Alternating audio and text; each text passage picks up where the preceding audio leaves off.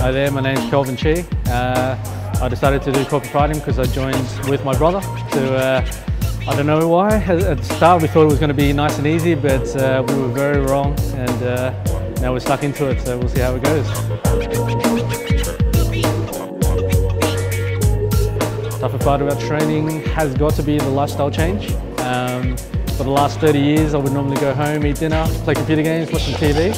And now we're basically training five to seven times a week, and it is absolute killer. So it's a hard lifestyle change, uh, sleeping changes, food ch eating changes, uh, your whole uh, your day plans change, and uh, you, you ache every day.